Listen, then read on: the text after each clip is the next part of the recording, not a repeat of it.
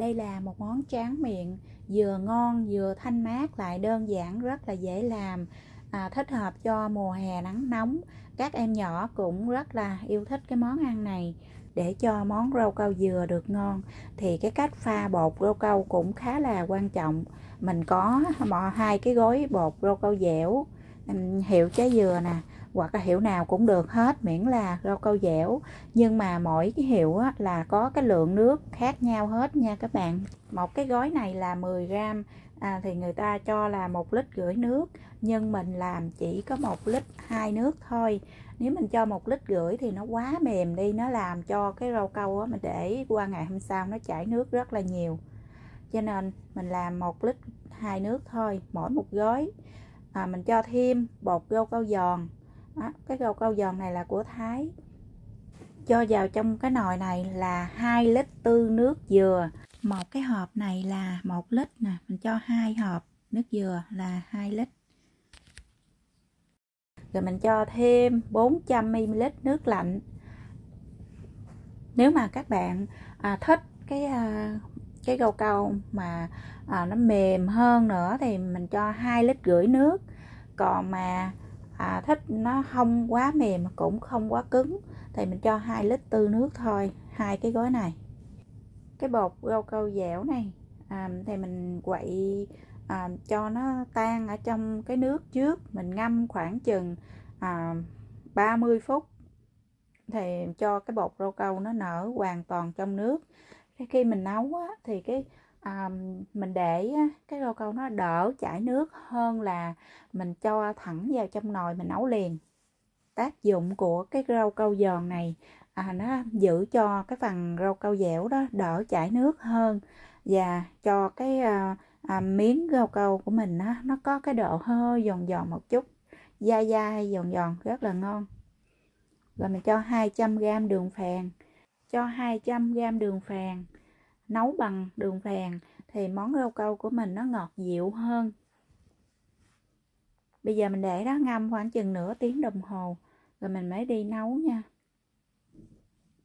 Tiếp theo là mình nấu phần rau câu với nước cốt dừa. À, đây là một lít nước. À, các bạn dùng nước lã thường thôi không có cần nước dừa tươi đâu. Tại vì một lát nữa mình cho nước cốt dừa vô rồi. À, một gói rau câu dẻo nè với một lít nước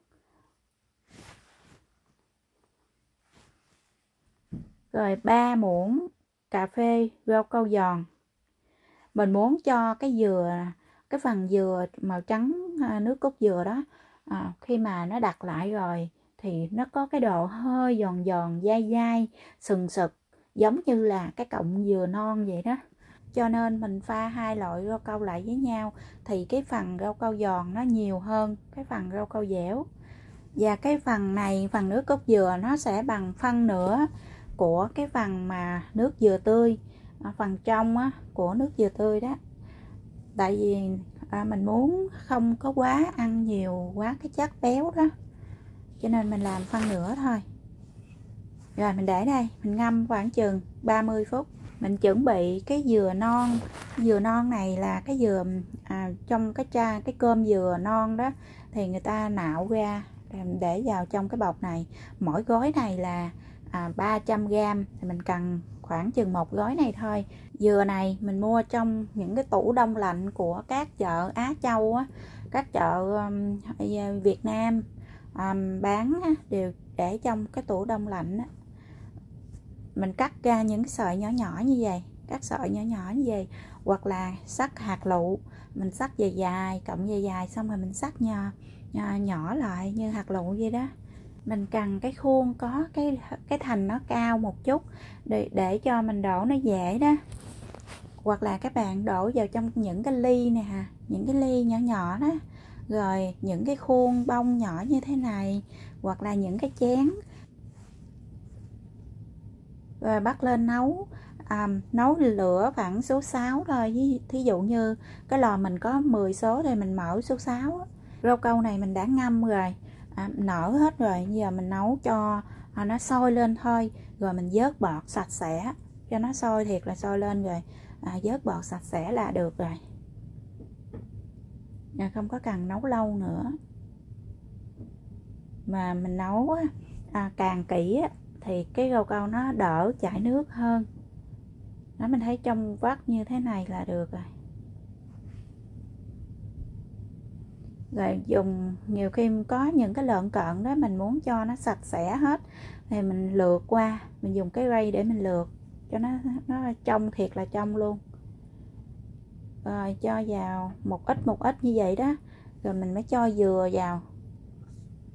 Rồi các bạn khi mà các bạn đổ canh làm sao mà cái rau câu nó đừng có đặc nha cái rau câu này nó rất là nhanh đặc luôn. Mình đổ cái mùa hè nắng nóng á, thì nó đỡ đặc chậm đặt một chút nhưng mà mùa lạnh á, là nó đặt nhanh luôn. Cho nên các bạn đổ làm sao mà à, một cái khuôn thôi rồi xong rồi mình mới cho dừa vào. Xong rồi mình mới đổ qua những cái khuôn nhỏ kia.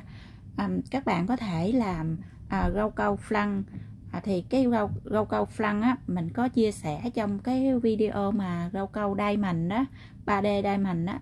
Thì các bạn cắt vuông vuông rồi thả vô mình đổ từng phần từng phần như vậy. À, khi mà mình thấy cái lớp ở dưới nó vừa xe mặt lại thì mình rắc cái dừa lên rồi mình đổ một lớp lên trên nữa. Đó mình đừng có để cho nó đặt luôn mà mình thấy dừa xe mặt lại thôi là mình đổ tiếp. Mình làm như vậy thì cái phần dừa non đó nó nằm khắp nơi trên cái bánh luôn. Rồi bây giờ mình nấu phần nước cốt dừa đây. Mình bắt lên nấu làm cho một cấp đường cái cấp đường này là à, 100g đường á. Cái này là đường cát nha hoặc là các bạn có thể cho đường phèn. Một lon nước cốt dừa 400ml các bạn có thể thêm sữa béo một ống vani hoặc là một muỗng cà phê à, vani nước. Rồi khi nước cốt dừa sôi lên là được. Khi mà mình nấu nước cốt dừa đó thì bên này à, cái rau câu của mình nó đã đặt lại một chút rồi. Ở phía dưới thì còn lõn nhưng mà ở trên nó đã đặt rồi. Mình xăm cho nó xăm cho nó lủng lỗ hết. Xong rồi mình mới đổ cái nước cốt dừa lên. À, nước cốt dừa nó đang nóng đó. Mình đổ lên thì nó mới dính lại hai lớp với nhau. Nó đổ lên cho um, đầy luôn. Rồi những cái khuôn nhỏ nè mình cũng xăm mặt luôn.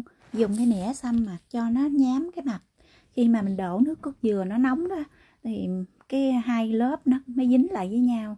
Đây cũng là một cái cách để mình làm cho cái gầu câu à, không bị tách lớp. Rồi mình đổ đầy vô hết rồi xong rồi à, mình để cho nó thiệt là nguội mới cho vào trong tủ lạnh. À, mình để rau câu á, khoảng chừng ờ, 4 năm 5 tiếng à, rau câu nó lạnh thiệt lạnh rồi mình lấy ra ăn nó mới ngon. Thì mình để tủ lạnh à, lạnh rồi nè mình mới lấy ra nếu nhà các bạn mà có um, các cháu nhỏ đó thì mình nên nấu uh, rau câu flan à, mình cắt uh, miếng vuông vuông đó thả vô để cho hấp dẫn hơn và các em nhỏ đó thích hơn nữa. Rất là à, ngon. Thì không có những cái khuôn bông nhỏ nhỏ như vậy thì à, mình đổ vô cái ly cái chén hay cái gì à, ở nhà mình có đó những cái khuôn để nướng bánh đó mình đổ vô cũng được luôn trong trường hợp mà các bạn cho vào trong tủ lạnh để qua ngày hôm sau, nó chảy một ít nước cũng không sao hết.